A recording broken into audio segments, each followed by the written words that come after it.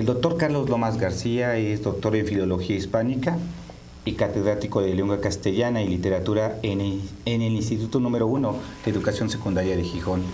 Es un académico ampliamente reconocido en nuestros medios, director de la revista Signos de 1990 al 97. En la actualidad es eh, codirector de textos de didáctica de la lengua y literatura y nos ha acompañado en México en múltiples ocasiones, además de impartir conferencias también en Portugal, Andorra, Brasil, Guatemala, Venezuela, Puerto Rico, Chile, Colombia, Brasil, entre otros países. En México lo conocemos a partir de sus ensayos e investigaciones que se dirigen a indagar sobre las teorías y las prácticas de la educación lingüística y literaria en la enseñanza secundaria fundamentalmente, sobre los lenguajes de los mensajes de la comunicación de masas, especialmente en el ámbito de la publicidad, y sus efectos en nuestras sociedades y sobre los vínculos entre usos del lenguaje, diferencia sexual y transmisión escolar y cultural de los géneros. Entonces, bienvenido, doctor Carlos Lomas. Y pues iniciaremos precisamente esta charla, esta, esta entrevista con el doctor Lomas, eh, comentando que aquí en México especialmente desde hace casi dos décadas, ha sido relevante el trabajo eh, del doctor Lomas, su difusión, especialmente en lo que denominamos enfoques comunicativos de la enseñanza del lenguaje, textos fundamentales como cómo enseñar a hacer cosas con las palabras,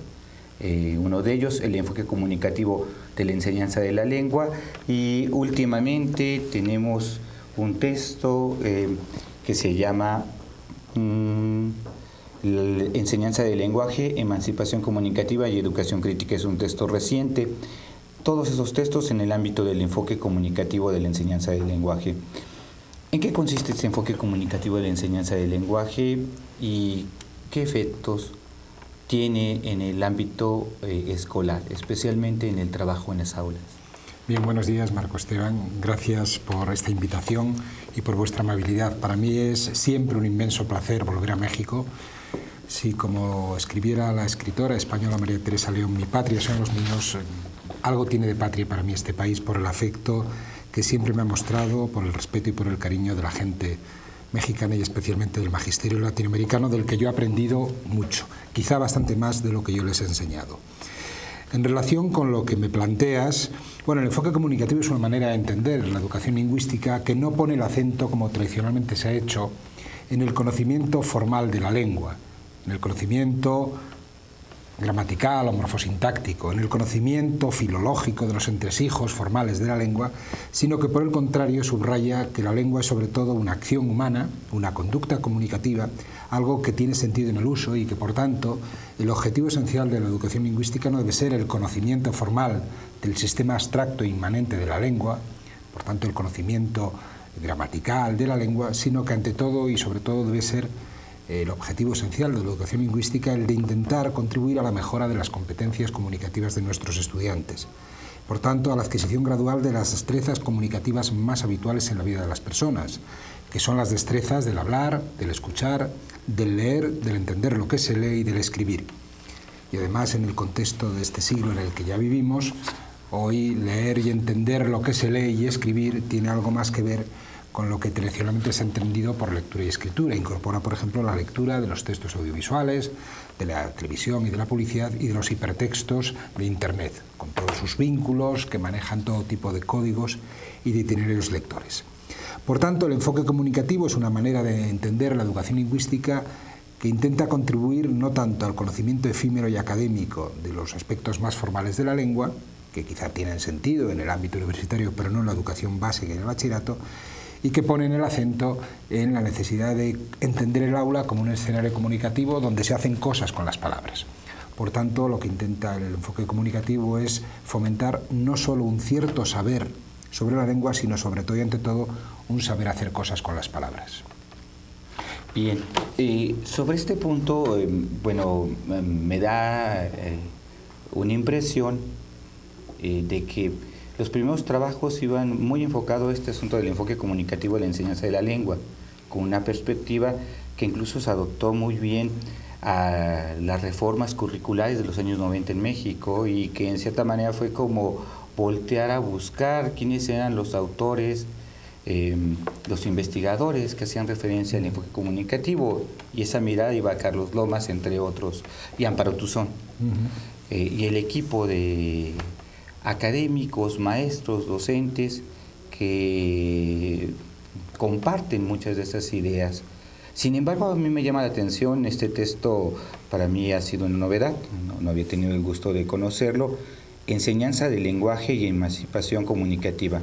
y educación crítica. Este, este texto me llama la atención especialmente por ese término de emancipación comunicativa, es decir, veo ya una perspectiva eh,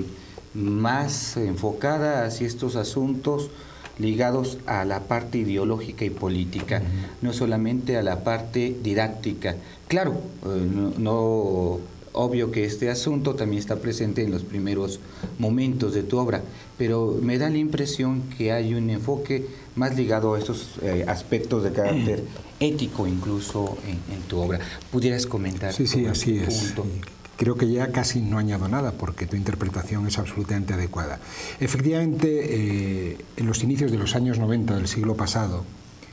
se produce un fenómeno que es una serie de reformas curriculares en España, en Latinoamérica, en México, por tanto,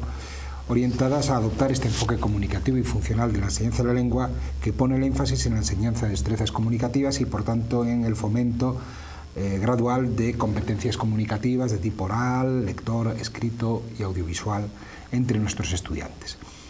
Y ya en ese enfoque, de alguna manera, había un cierto énfasis en los aspectos éticos e ideológicos del lenguaje, en la medida en que no solamente se entendían los contenidos como un conjunto de hechos y de conceptos,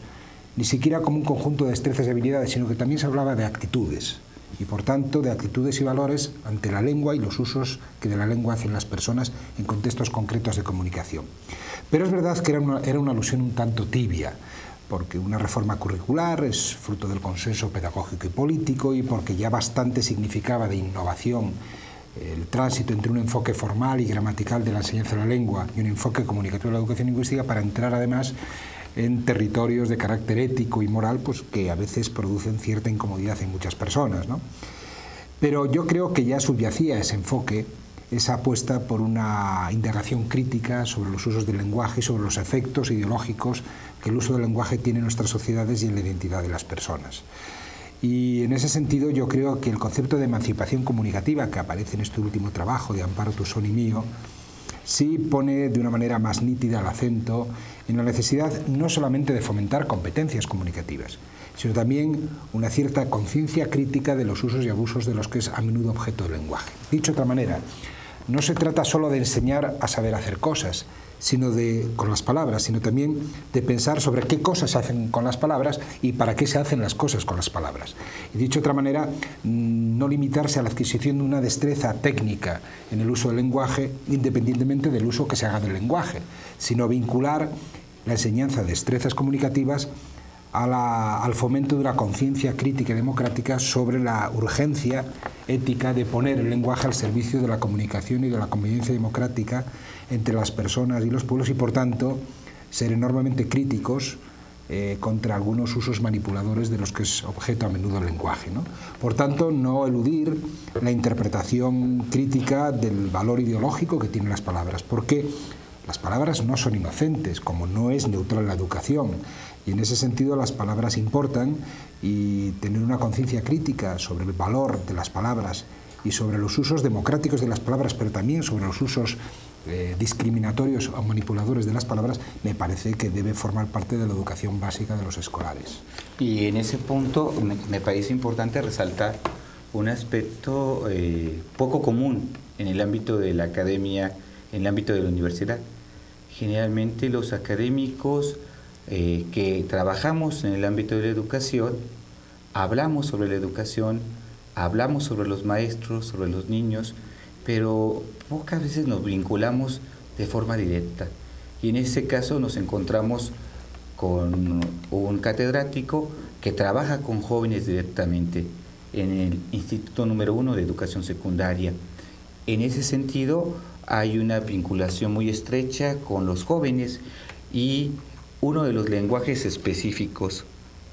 el lenguaje que se utiliza en la cultura de masas, el lenguaje de la publicidad. Y Carlos Lomas ha sido de quienes han incursionado en este ámbito, en el lenguaje de la publicidad. ¿Pudieras comentarnos? Sí, sí, efectivamente. Eh, digamos que cuando se estudia el concepto de competencia comunicativa, que es el que ilumina los enfoques comunicativos de la educación lingüística y literaria, se alude a un conjunto de competencias de tipo gramatical o lingüístico, textual o discursivo, sociolingüístico y estratégico que son casi siempre de naturaleza lingüística, que tienen que ver con los usos orales y escritos de la lengua. Como si nuestra cultura fuera una cultura puramente verbal, una cultura puramente lingüística. Sabemos desde hace ya muchas décadas que la emergencia de la cultura de masas, de la cultura de la prensa, del cómic, de la televisión y de la publicidad, y de unos años acá de la cultura de Internet, de la cultura digital, ha cambiado radicalmente el paisaje de los consumos comunicativos de las personas y especialmente de nuestros adolescentes y jóvenes. Y por tanto hoy el concepto de competencia comunicativa debe incorporar junto a estas competencias de tipo lingüístico, textual, estratégico y sociolingüístico competencias de tipo mediático, de tipo semiológico, competencias de tipo analógico y digital, competencias que permitan una interpretación crítica de los mensajes de los textos de la cultura de masas, especialmente de la televisión y de la publicidad, y de los textos y hipertextos que aparecen en Internet, con el fin de que nuestros estudiantes no sean solo espectadores atónicos y devotos de lo que ahí aparece, sino que sean personas que tengan conocimientos, habilidades y actitudes que permitan una indagación crítica sobre los efectos a menudo inadvertidos de esos mensajes. Y en ese contexto es verdad que yo ya hace algunos años me preocupé especialmente por incorporar a las tareas de la enseñanza del lenguaje este tipo de contenidos referidos a los textos de la cultura de masas. Y especialmente a los textos de la publicidad, por ser unos textos muy motivadores, omniscientes en la vida de las personas y con un contenido ideológico evidente, porque la publicidad no es solo un discurso sobre el objeto, es sobre todo un discurso sobre el sujeto y sobre los hombres y sobre las mujeres y sobre las sociedades en las que vivimos, con lo que los efectos de la publicidad no son solo efectos de tipo económico y comercial, son efectos ideológicos. La publicidad nos muestra no solamente las virtudes y las cualidades de un objeto, sino que también y sobre todo nos muestra las virtudes y las cualidades de una determinada concepción del mundo, de una determinada versión de las cosas, de una determinada visión de la sociedad y de los hombres y de las mujeres. Y en la medida en que esa versión de la sociedad y esa visión de los hombres y de las mujeres no se corresponde con el tipo de sociedad y el tipo de hombres y mujeres que queremos construir desde la educación, creo que las aulas hay que eh, reservar algunos tiempos para el estudio crítico de discursos como el publicitario,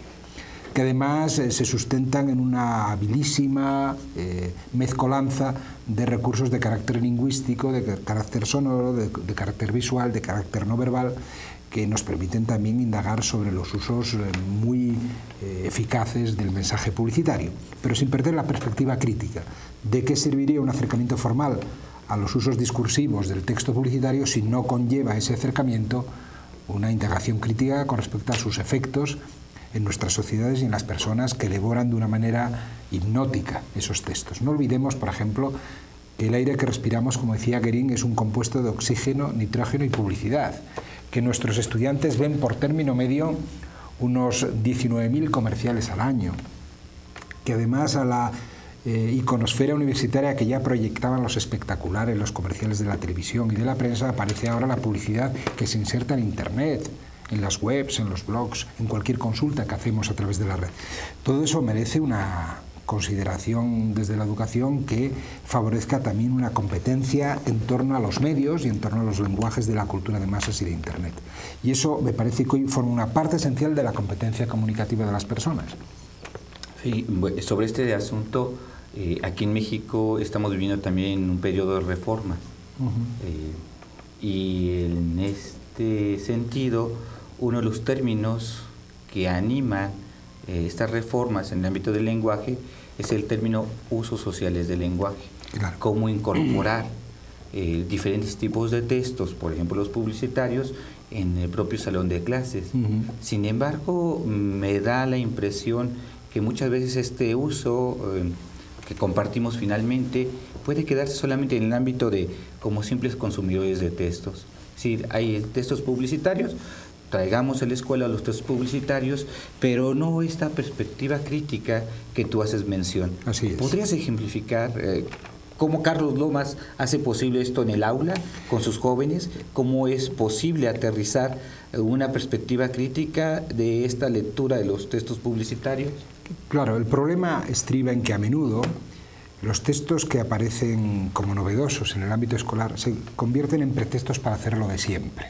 Es decir, en el caso del texto publicitario, a menudo el texto publicitario ha sido utilizado como pretexto para enseñar figuras retóricas, es decir, para la enseñanza del conjunto del repertorio de figuras y de tropos que habitualmente explorábamos en torno a textos perdón, a, a textos literarios, casi siempre de naturaleza poética, y que ahora consideramos que podemos explorar en torno a eslóganes publicitarios. Pero limitarse a una identificación de los procedimientos retóricos, de los eslóganes publicitarios sin entrar en la complejidad de significaciones que conlleva un comercial en televisión, me parece que es eh, quedarse muy cortos en la interpretación cabal del sentido de esos textos. Y por tanto yo creo que lo que cabe hacer, y es lo que yo he hecho cuando he formado a maestros y a maestras en estos asuntos, y es lo que hago como docente con mis alumnos de 15 y 16 años en el Instituto de Educación Secundaria y Bachillerato en el que trabajo, en el norte de España, pues lo que habitualmente es intentar mostrar cómo el uso que se hace de los diversos procedimientos lingüísticos, iconográficos, musicales y de otro tipo en un texto publicitario se ponen al servicio de la transmisión del sentido. Y de un sentido que no gira en torno al objeto, sino en torno al sujeto humano, a los hombres y a las mujeres. Y que por tanto a menudo, con el fin de vendernos un coche, un perfume, una determinada marca de ropa, se dicen cosas de los hombres y de las mujeres que no son inocentes y que siempre contienen una determinada visión de las cosas y una determinada versión del mundo con la que podemos identificarnos o no, pero de la que debemos ser conscientes. Es decir, que la publicidad nos muestra maneras de hacer y de entender el mundo y no solo objetos. A mí no me preocupa el efecto económico de la publicidad y que por tanto como consecuencia de la emisión de un comercial mis alumnos y mis alumnos compren tal o cual marca de ropa. No es algo que me preocupe especialmente. Me preocupa que los modelos de adolescencia y de juventud asociados a esa ropa, que a veces no son precisamente unos modelos equitativos, eh, se trasladen a sus vidas cotidianas. Y hay un ámbito en el que yo he trabajado de manera preferente en los últimos años que tiene que ver con la construcción publicitaria de los estereotipos de género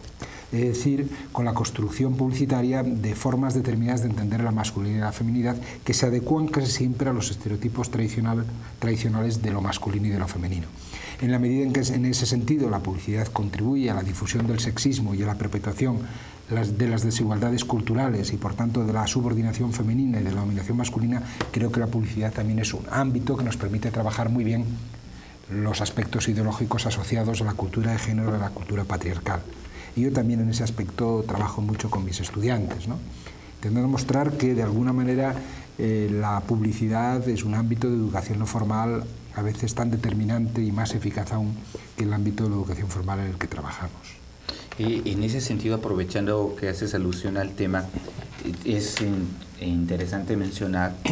cómo eh, Carlos Lomas, además de desarrollar textos eh, con el enfoque comunicativo de la enseñanza del la lengua ha incursionado en este otro ámbito, eh, estudios de géneros con un enfoque feminista. Y de ahí dos textos fundamentales, El otoño del patriarcado y Los chicos también lloran, por cierto. Este, y bueno, este otro, iguales o diferentes, género, diferencia sexual, lenguaje y educación. En ese sentido, eh, ¿podrías comentarnos? Eh, bueno, ya parte de esto lo han mencionado en la práctica con tus propios chicos, pero ¿cuál fue el, aspecto que motivó a, Lomas a desarrollar estos, trabajos y difundirlos? Yo creo que hay una evolución personal y profesional fácil de entender. Es decir, cuando yo incursiono en los enfoques comunicativos y en la conveniencia de fomentar desde las aulas las destrezas comunicativas del, alumnado y hacerlo no solamente con una perspectiva de mejora técnica del uso oral y escrito, sino también de conciencia crítica sobre los usos del lenguaje, inmediatamente veo la conveniencia de incorporar a los contenidos tradicionales de la enseñanza del lenguaje, que eran contenidos de tipo gramatical o contenidos referidos a lengua oral y a lengua escrita, a lectura y a escritura, otro tipo de contenidos vinculados a los textos de la cultura de masas. Allí aparece el mundo de la televisión y especialmente el mundo de la publicidad del que he hablado hace un momento. Y cuando analizo los efectos inadvertidos de la publicidad y sus efectos, por tanto, no solo comerciales, sino también éticos e ideológicos, me encuentro con el sexismo publicitario, con la construcción publicitaria de eh, estrategias de manipulación eh, orientadas a perpetuar el sexismo y los estereotipos tradicionales de lo femenino y de lo masculino. Ese es el antecedente de mi interés por los estudios de género, de orientación feminista, como tú dijiste, y por una serie de trabajos que he compartido con mujeres y algunos hombres para intentar fomentar una reflexión crítica sobre la construcción cultural de la masculinidad y de la feminidad, pero en lo que a mí me toca como hombre especialmente de la masculinidad, y el diseño de estrategias que permitan trabajar en las aulas este tipo de contenidos para fomentar, en la medida de lo posible,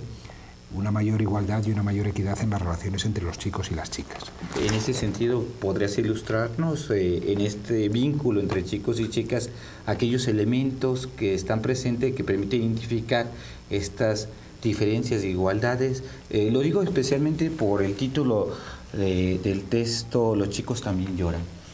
Sí, eh, claro, en este asunto es, es, muy claro que lo que se opone a igualdad no es diferencia, sino desigualdad. Uno de mis libros, que comparto con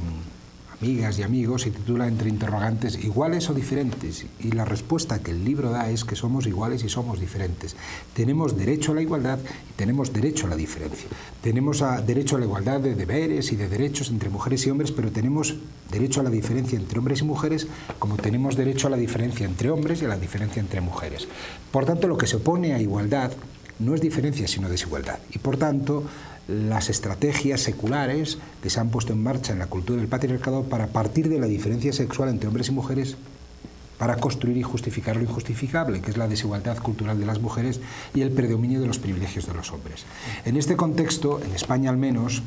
eh, se han puesto en marcha en los últimos 20, 25 años programas de coeducación, programas orientados a fomentar la igualdad entre los sexos, la igualdad entre chicos y chicas. Y se ha intentado que esos programas impregnen eh, los contenidos de las asignaturas, de las áreas y de las materias. Por ejemplo, en el área del lenguaje ha habido un trabajo muy fuerte para visibilizar, la ocultación de las mujeres en el territorio de las palabras y por tanto la urgencia de nombrar el mundo en masculino y en femenino. Y en ese sentido, hoy los usos del lenguaje, al menos los usos públicos del lenguaje, heredan este trabajo equitativo de tantas mujeres y de algunos hombres orientados a nombrar el mundo en masculino y en femenino y evitar, y evitar las formas de designación del mundo, de un mundo que es sexuado y un mundo que es masculino y femenino, que oculten la condición femenina y que nombren de manera genérica a las mujeres con el masculino. Bueno, eh, de un tiempo a esta parte lo que empieza a preocupar en estos ámbitos, y a mí me preocupa especialmente, es la situación de los chicos, porque como consecuencia, al menos en España, del cambio social, del cambio jurídico y del cambio educativo, las eh, adolescentes y las jóvenes tienen conciencia de su dignidad femenina, eh, ya no son objeto tan evidente de menosprecio, de acoso y de discriminación y tienen eh, además un mayor éxito escolar que los chicos. Mientras que hoy en España al menos, pero no solamente en España, me consta que es un fenómeno general, el fracaso escolar es masculino. Es decir, las muchachas que acaban la educación básica, son bastantes más que los muchachos que acaban la educación básica, hoy acaban sus estudios de bachillerato más chicas que chicos, y hoy ya acceden a la universidad más chicas que chicos, cosa que me alegra enormemente porque compensa una desigualdad educativa de carácter histórico, pero que tampoco me llena de orgullo y satisfacción porque yo no celebro el fracaso de los chicos. Y en este sentido se empieza a plantear la importancia de la coeducación de los chicos. Se ha trabajado de forma específica, como era casi obligado, a favor de las niñas, a favor de las muchachas, a favor de las chavas, quizá olvidando en algún momento que también los chicos tenían que iluminarse de esta mirada de género, de esta mirada equitativa. Y hoy empieza, en España al menos, y no solo en España, a extenderse la conciencia de que es necesario un trabajo específico con los chicos. Porque el fracaso escolar masculino no está en los genes de los chicos, eh, ni está en su desarrollo evolutivo está en una concepción de género, una concepción profundamente patriarcal que consiste en identificar a la escuela con un orden femenino. La escuela está dominada por un orden simbólico femenino porque es la escuela de, los de las maestras y de algunos maestros que se someten a la voluntad de las mujeres. Y los valores que difunde la educación son los valores de la equidad, de la paz, de la salud, de la tolerancia, de la igualdad, de la solidaridad, que se consideran desde el prototipo masculino por excelencia valores femeninos. Y ante eso los chicos objetan se, digamos que se ponen en rebeldía, se declaran insumisos ante un orden femenino con el que no se identifican y que afecta a su estereotipo viril. ¿no? Entonces, mostrar a los chicos que se trata de ser, de dejar de ser muy hombres y de ser más humanos, como dice, por cierto, una socióloga mexicana, Lucero eh, Jiménez Guzmán, me parece que hoy es una tarea urgente. Decir claramente que los chicos también lloran y que no es menos hombres quien es menos humano, que por tanto de lo que se trata es de ir abandonando las formas tradicionales de la masculinidad, el machismo irredento que arrastramos desde tiempos inmemoriales en todo el planeta para ir construyendo otras formas de ser hombre que generen una mayor democracia en su relación con las mujeres. Carlos Lomas también ha, ahondado no solamente en el aspecto de estudios de género y en los enfoques comunicativos. Otra beta muy interesante es el ámbito de la educación literaria, el ámbito de la literatura. Hay un texto tuyo mm, que, bueno, en lo particular me, gusta mucho. Eras eh, una vez la escuela, los ecos de la escuela en las voces de la literatura. Es un texto bello porque aparte de la selección viene acompañado con un trabajo iconográfico muy interesante, recuperando imágenes eh, antiquísimas de los profesores y actuales. Y bueno, acá en México ha circulado más otro texto. Había una vez una escuela, los años del colegio en la literatura, eh, que escribes con una compañera mexicana, una catedrática mexicana, Isabel Gracida, y en donde es una selección eh, bastante completa de autores de la lengua española. En este trabajo eh, se recuperan textos, vamos a llamar de autores de hace 30, 40, 50, 70, 80 años, y entonces uno se queda con la idea de una cierta nostalgia de la escuela del pasado, la escuela de ayer como una escuela mejor a la actual. ¿Es, ¿Es esta la intención o hay otro tipo de motivaciones en estas investigaciones literarias sobre el trabajo que tú has llevado a cabo? Bueno, yo casi nunca lo que hago es inocente. Y por tanto, al menos tengo la honradez de poner las cartas sobre la mesa y de decir cuáles son mis intenciones. Eh, a ver, en principio, efectivamente, y antes de estos dos trabajos se publica en España en el año 2003 un texto que se llama La vida en las aulas eh, y que se subtitula Memoria literaria de la escuela, que es de alguna manera el hermano mayor de este último trabajo que compartí con la maestra Isabel Gracida, había una vez de la escuela. En ambos casos se trata de antologías literarias es decir, de una selección de textos literarios sobre la vida escolar. ¿Con qué finalidad? Sin duda, con la de estimular la nostalgia de la escuela de antaño y de la vida escolar de cada lector y cada lectora en quienes lean esos textos.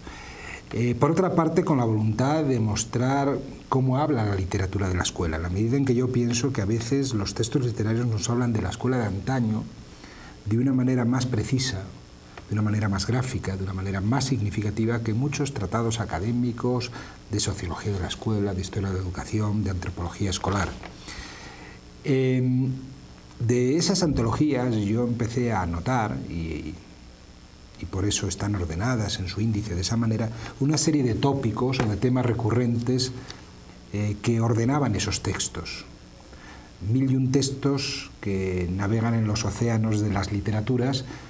y que son esos, pero podrían ser muchos otros, porque a, poco que uno explora por los textos de memorias de escritores y escritoras, por textos poéticos, por textos narrativos, por novelas o por cuentas, se encuentra con muchas alusiones autobiográficas o ficticias sobre la experiencia escolar o del autor o de la autora de los personajes que aparecen en esos relatos. ¿no? Y son eh, relatos y experiencias muy ilustradoras de la visión que el autor o la autora tiene del pasado escolar, de la infancia escolar, del paraíso perdido de la infancia en la escuela. Pero son visiones que también nos dicen muchas cosas de cómo era la escuela de, antaño o cómo recuerda el escritor o la escritora esa escuela de antaño. Y a partir de ahí yo ordené esas antologías literarias en torno a una serie de tópicos, ¿no? desde la nostalgia de la escuela de ayer hasta la figura de las maestras y de los maestros, pasando por la alusión a los castigos en el ámbito escolar, a la prevalencia de ese método infame y aún eh, presente en la pedagogía de la letra consangrenta, eh, la distinción entre colegios privados y escuelas públicas, las ideas pedagógicas de los personajes que aparecen en esos relatos, los amores escolares, las amistades peligrosas. Todo eso configura, configura, un océano disperso de textos que yo he agrupado en estas antologías a partir de textos casi siempre en, lengua española y en concreto en, la edición castellana, de este, en la edición mexicana de este libro, de textos de una manera prevalente españoles y mexicanos. Entonces, a partir de esa ordenación en torno a tópicos de los textos, yo intento ver qué tipo de poética escolar construyen los textos literarios sobre la vida escolar e intento elaborar una cierta interpretación de por dónde van las miradas de tantos y tantos escritores y escritoras en torno a la escuela y en torno a esos tópicos o ejes temáticos. Y de ahí surge efectivamente Eras uno de la escuela, que es un libro diferente en la medida que es un libro ya personal, que tiene un componente de ensayo evidente, con abundantes citas y con ilustraciones no solamente de autores y autoras, sino también de imágenes escolares de la escuela de antaño, imágenes fotográficas de grupos escolares de diversas partes del mundo, hay muchas de México, de maestros, de maestras, de alumnos, de alumnas, de manuales escolares de caligrafía, de aritmética, de matemáticas, de pupitres, de herramientas y útiles de enseñanza. Bueno, con el fin, por una parte es evidente, y ese es un efecto eh, que no que, no quiero evitar, de cierta nostalgia por el paraíso perdido de la infancia escolar, pero también con el fin de intentar combatir un espejismo que de un tiempo a esta parte nos abruma, que es la idea que se extiende, y al menos en mi país se ha extendido de manera nada inocente, de que cualquier tiempo pasado en educación fue mejor. Y yo creo que los textos de la literatura sobre los contextos escolares que aparecen en estos trabajos lo que muestran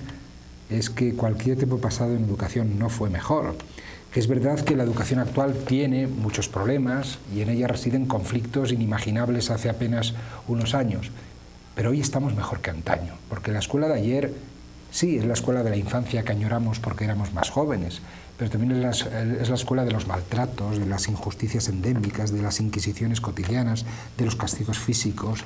y todo eso arroja un, un paisaje muy desolador. ¿no? no es que el paisaje de la educación actual sea especialmente esperanzador, hay enormes malestares y conflictos, pero hoy estamos mejor que antaño y basta con asomarse a los textos de la literatura para darse cuenta de que una cosa es tener esa cierta nostalgia del tiempo de ayer, que yo comparto,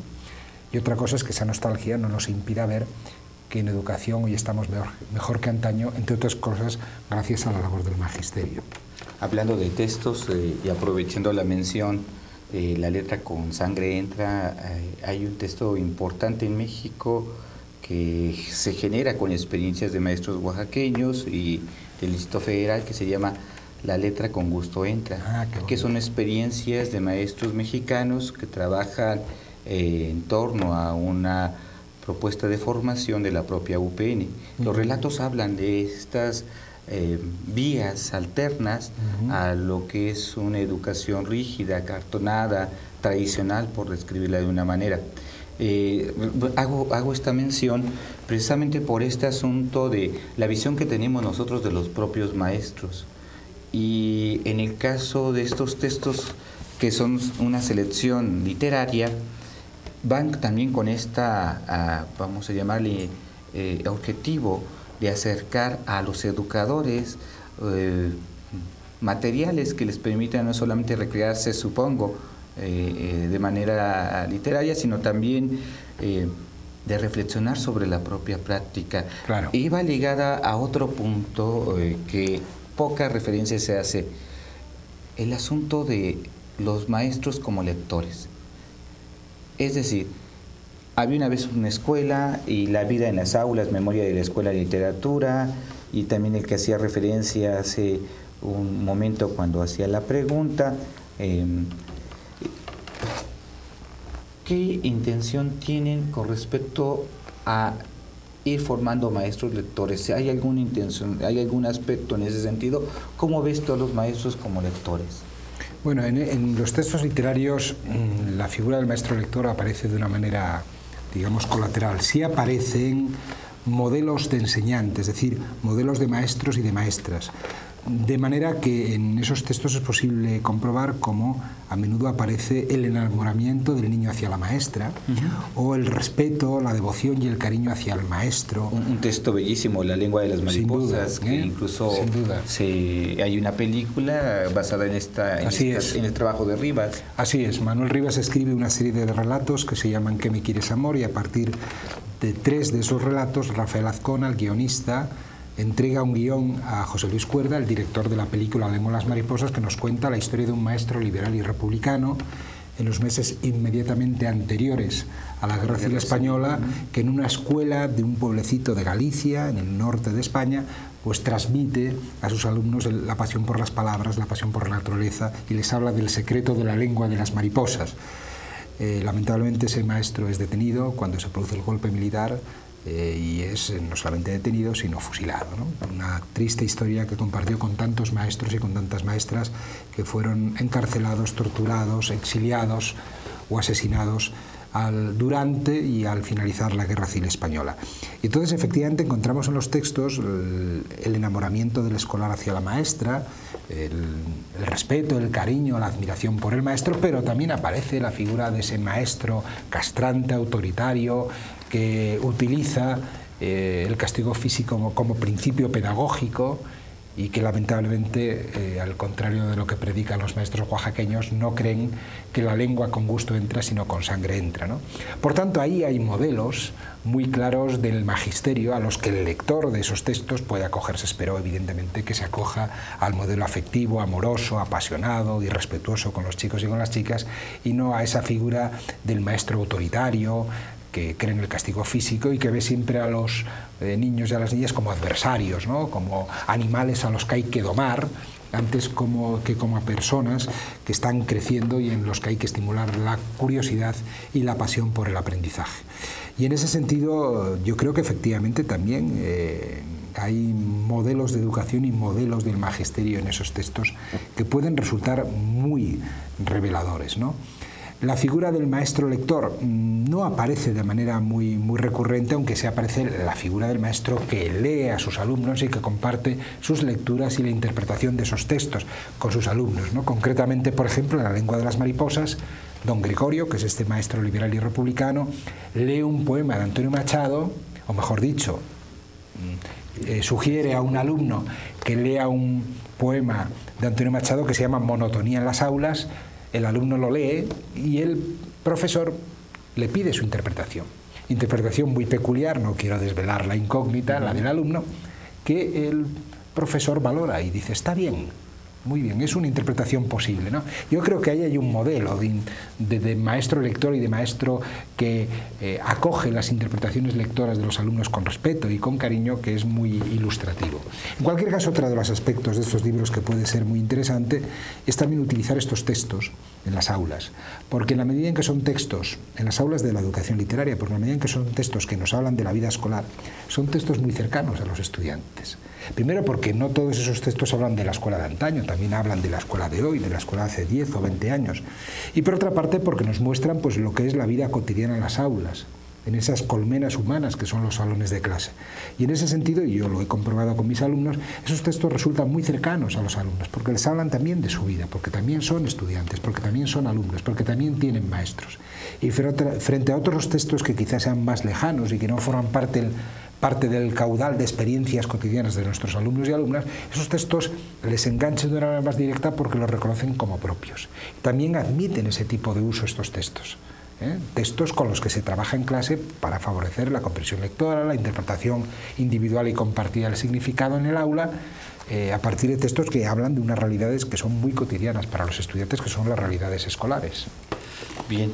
pues eh, vamos ya prácticamente culminando pero voy a hacerte una pregunta que va a romper un poco el asunto de, eh, la estructura de, este, de esta entrevista.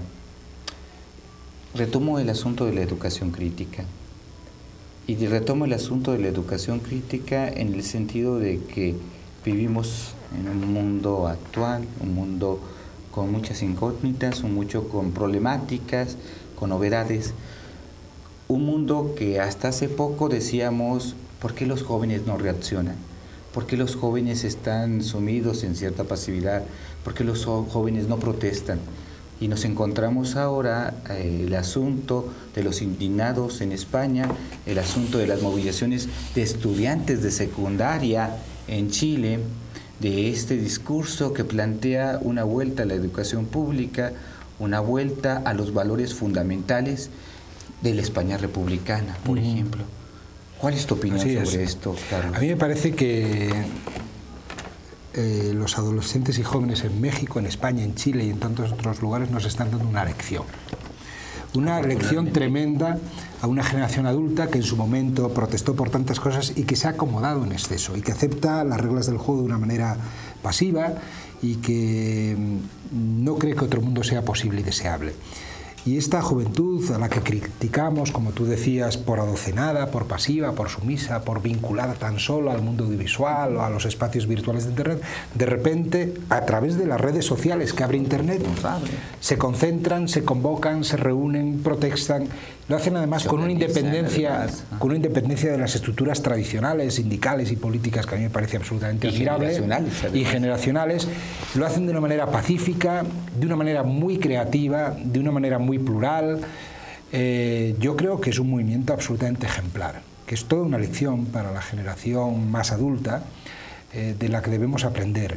Yo creo que el movimiento de los indignados, que ha surgido de manera espontánea en tantos lugares, yo estuve hace un mes en el Zócalo y vi el Zócalo de, de Coyoacán y vi allí la concentración de indignados. ¿Con Javier Sicilia? ¿Cómo? Con Javier claro, Sicilia. Javier Sicilia, ¿no? O el movimiento de indignados en Madrid, en Barcelona, o el movimiento de los indignados a favor de la educación pública en Chile, me parece un movimiento absolutamente ejemplar, que lamentablemente no hemos construido desde la escuela y desde una escuela crítica, que ha surgido a través de las redes sociales de una manera espontánea y que a mí me parece que es, insisto, absolutamente ejemplar. Yo creo que tenemos mucho que aprender de los jóvenes y que este movimiento pone de relieve esa falacia de pensar que la juventud actual está perdida antemano, que ha perdido los valores de la resistencia, los valores de la crítica. Yo creo que nos están dando una lección enorme de la que debemos aprender. Ya sea los indignados o los movimientos de no más sangre o los movimientos en Chile, eh, finalmente hay un elemento que es la materia de trabajo de, gente como tú, de investigadores como tú, que va ligado con el lenguaje. Pero en este punto, sobre el tema, y con ello yo concluiría, claro, nos gustaría poder seguir en esta charla, pero bueno, el asunto de los tiempos siempre es fundamental. El poder de la palabra, el poder de la palabra en esos movimientos. ¿Qué podría Carlos lo más plantear. Claro, es que yo creo que en estos movimientos lo que se pone manifiesto es el poder de la palabra frente a las palabras del poder. Es decir, frente a los discursos institucionalizados que tienen unos canales de difusión a gran escala enormemente eficaces y que están al servicio de ideologías y de intereses de grupos minoritarios que son los que hoy están construyendo una enorme desigualdad e injusticia en las sociedades en las que vivimos, está el poder de la palabra, de la palabra dicha de forma hablada en una asamblea, de la palabra escrita, de la palabra transmitida a través de las redes sociales, de estos jóvenes que nos están dando una lección moral, a mí me parece absolutamente ejemplar. ¿no? Entonces esto demuestra, insisto, que las palabras no son inocentes y que por tanto no basta con enseñar un uso correcto, coherente y eficaz de las palabras es necesario enseñar el uso ético de las palabras, poner las palabras al servicio de la convivencia y de la democracia, y no solamente al servicio de un manejo muy hábil que puede estar en última instancia en función de un interés de manipulación. ¿no? Por eso yo creo que el concepto de emancipación comunicativa ilumina el concepto de competencia comunicativa porque lo pone al servicio no solamente de un manejo eficiente de las palabras, sino de un uso ético de las palabras, que haga que el poder de las palabras se ponga al servicio de la convivencia y de la democracia entre las personas y entre los pueblos y que contrarreste, por tanto, los efectos perversos de las palabras del poder que no se caracterizan por ser usadas al servicio de los pueblos, sino al servicio de grupos minoritarios que siguen manteniendo todo tipo de privilegios y de prebendas en nuestra sociedad. Pues tendremos que cerrar en este momento, Carlos, eh, de entrada agradecerte la oportunidad que nos has dado a tus colegas mexicanos de poder compartir estas ideas, de compartir tu obra y además agradecerle a Amparo Tuzón, o sea, la obra de, Carlos Lomas no se puede entender si no se lee y si no se acompaña a su vez con la obra de Amparo Tuzón. Afortunadamente.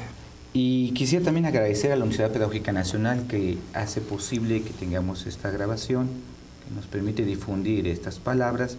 y a la Red Metropolitana de Lenguajes para la Transformación de la Escuela y la Comunidad, que hizo este esfuerzo para invitar a Amparo y a Carlos a este encuentro internacional de lenguajes que se desarrolla en la ciudad de Oaxaca del 8 al 10 de diciembre del 2011. Muchas gracias, Carlos. Gracias. Esperamos volverte a tener en este set y que nos puedas seguir eh, acompañando y ilustrando. No, gracias a Sí. ti y a ustedes de corazón, además. Gracias.